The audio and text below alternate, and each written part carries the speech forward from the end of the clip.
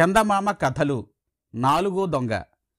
ఒక దేశంలో ముగ్గురు గజ దొంగలు ఉండేవారు వారు రోజుకొక దొంగతనం చేసినా వారిని పట్టడం ఎవరికీ సాధ్యం కాలేదు.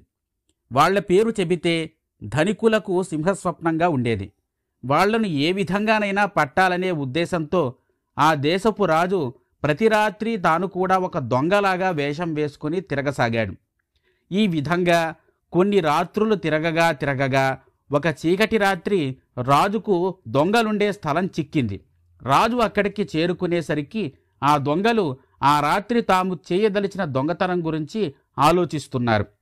కొత్త దొంగను చూడగానే గజ దొంగలకు కొంత అనుమానం కలిగి ఎవరు నువ్వు? ఇక్కడికి ఏం పని మీద వచ్చావు? అని అడిగారు. నేను దొంగనే. ఈ ప్రాంతాల్లో మీరు చాలా గొప్ప దొంగలని విని మీకు నా శక్తి చూపించవచ్చాను అన్నాడు రాజు.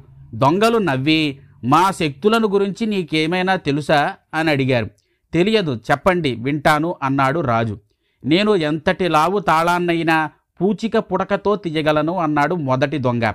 నేను భూమికి చెవి పెట్టి ఆలకించానంటే డబ్బు ఎక్కడ ఉన్నది పసికట్టగలను అన్నాడు రెండో దొంగ.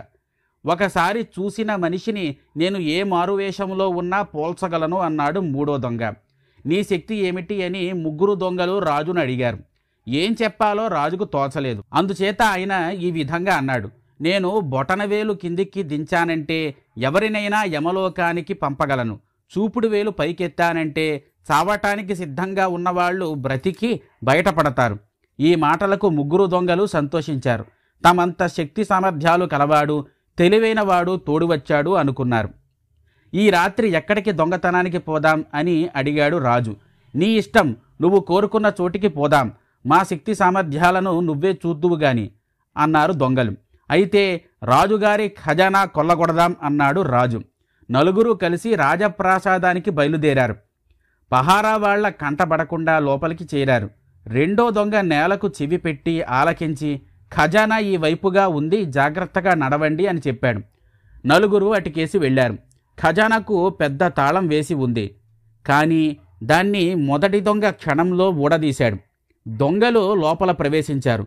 ఈ సమయంలో రాజు వాళ్ళకు తెలియకుండా వెళ్ళిపోయి తన భటులను పంపాడు. గజ దొంగలు ముగ్గురు సొత్తుతో సహా పట్టుబడ్డారు. మర్నాడు వారిని విచారణకు దర్బారుకు తీసుకొచ్చారు. సింహాసనం మీద కూర్చున్న రాజును చూస్తూనే మూడో దొంగ తన తోటి వాళ్ళతో ఈయనే నిన్న మనతో పాటు దొంగతనానికి వచ్చిన కొత్త మనిషి అని చెప్పాడు.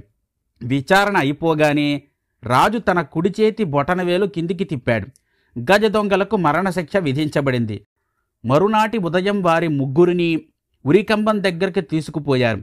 అధికారి ఒకడు వచ్చి మీ ఆఖరి కోరిక ఏమిటి? అని దొంగలను అడిగాడు. రాజుగారిని ఒక ప్రశ్న అడగాలి. అదే మా ఆఖరు కోరిక అన్నారు దొంగలు. రాజుగారు వచ్చారు. మీరు నన్ను అడగగోరే ప్రశ్న ఏమిటి? అన్నాడు ఆయన.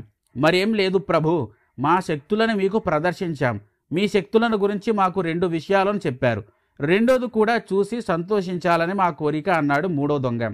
రాజు చిరునవ్వు నవ్వి తన చూపుడు వేలు పైకెత్తాడు. వెంటనే రాజభటులు వచ్చి గజ దొంగల కట్టు విప్పేసి ఉరికంబం నుంచి దించేశారు. తరువాత ఆ గజ దొంగలు దొంగతనాలు మాని రాజు దగ్గరే కొలువుంటూ రాజుగారి పట్ల ఎంతో భక్తిగా కాలం గడిపారు. ఇక కథ కంచికి మనమింటికి ఇంటికి. ఈ కథ మీకు నచ్చినట్లయితే లైక్ చేయండి షేర్ చేయండి. ఈ కథలో మీకు నచ్చిన విషయాలపై కామెంట్ చేయండి.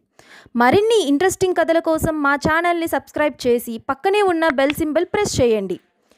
మరికొన్ని ఇంట్రెస్టింగ్ కథలు చూడడానికి స్క్రీన్పై కనిపిస్తున్న లింకులను మరియు డిస్క్రిప్షన్లో ఉన్న లింకులను ప్రెస్ చేయండి. Thank you. మీ కథాసాగరం.